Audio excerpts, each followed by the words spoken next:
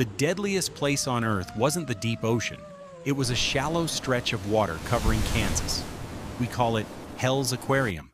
But scientifically, this was the Western Interior Seaway.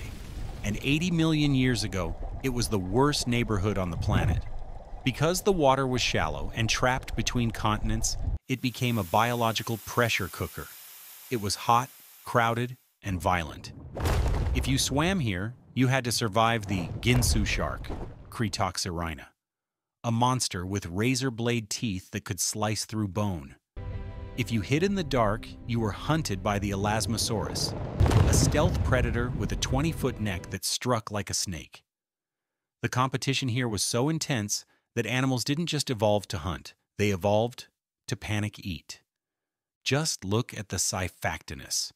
It was the fastest thing in the water, hitting 40 miles per hour. But in this aquarium, speed wasn't enough. You had to be greedy.